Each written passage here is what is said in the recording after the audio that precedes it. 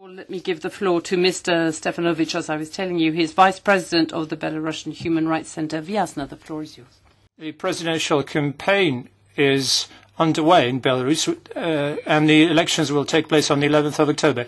Generally speaking, the general situation in Belarus reminds very much the situation that we witnessed in 2010 during the campaign and the election. It's uh, proper except for three distinctions. First, the elections in the, the, of this year are held against the backdrop of a new geopolitical situation that surrounds Belarus uh, due to the Ukrainian crisis. Number two,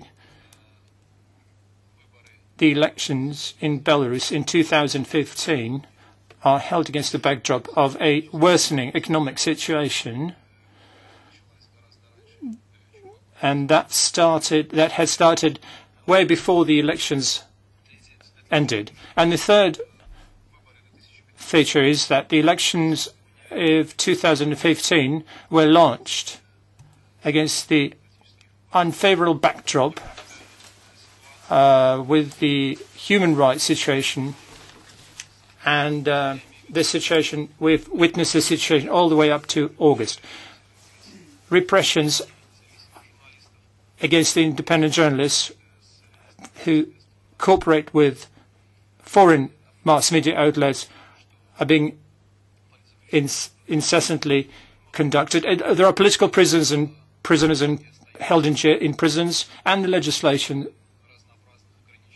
is full of a full of various restrictions of civil, civic, and human rights, such as the criminalization of foreign aid uh, unregistered organizations, persecution, etc. Belarus practice continues to uh, apply capital punishment. On the 22nd of August, six political prisoners were pardoned and released. Our organization, among others, said that they were political prisoners. We welcome that uh, move by the Belarusian authorities. It should be noted that they were released without move, removing their criminal records.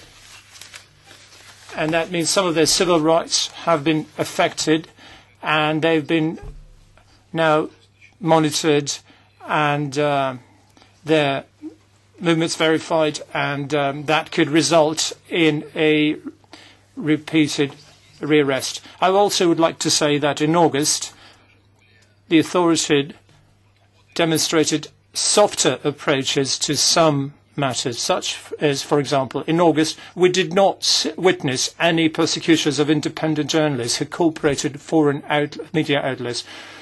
Uh, public protests, uh, su such as picketing and demonstrations in, in Minsk, are not being obstructed by authorities, but there are no systemic changes on the legislative basis in Belarus.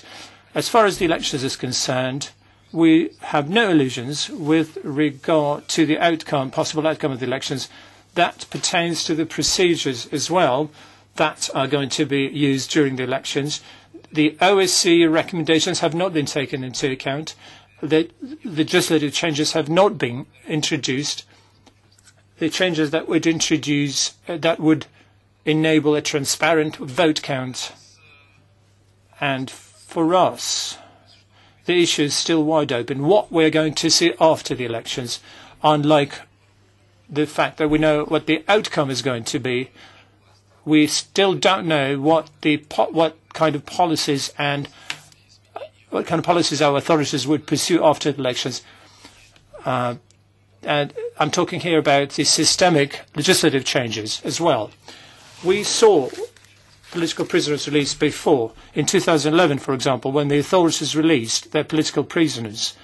But on the on 19th of December of 2010, we saw an even tougher wave of repressions against political opponents of the authorities and the representatives of the civil society. So it seems to me that systemic changes could be the guarantee that the authorities would not resort to repressions, to repressions, and that changes will be more systemic in nature rather than a reaction to a variety of events in the country. So it seems to me that a specific content for the dialogue between Belarus and EU can result and bring about result in and bring about successful changes in the country. Thank you very much. If you have any questions, I'll be happy to answer them. Thank you.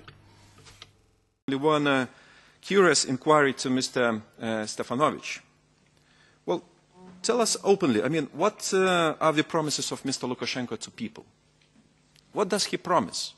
Since, I mean, it's a dire situation. I mean, economy is in ruins. In fact, uh, um, it's half uh, independent country, sorry to say.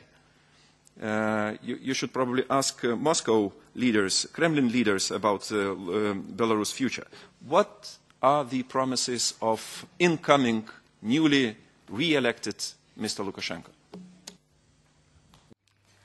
As to the promises by Lukashenko to the people, well, he's uh, promising peace and stability, and this is a major part of his programs, and uh, people are supporting it, especially in view of the situation in the Ukraine. And the latest statements by Lukashenko point out to the value of the independence, and Lukashenko draws attention to the fact that uh, the Belarusians build their own independent state and they have to improve it. They uh, have to foster its growth. And if we are to uh, uh, cast our glance back to what Lukashenko said when he just uh, when he first came to power and what he's saying now, it's really very very different. But uh, as to the real promises, he is not uh, giving specific promises. For instance, in 2010, he was promising um, people the salary of a thousand dollars per month. Now he's not making such promises, but he is mainly playing with uh, stability, peace and stability, and of course uh, uh, taking into account the situation in the Ukraine it becomes more important and some people uh, believe that democracy uh, leads to the consequences which we can witness in the Ukraine.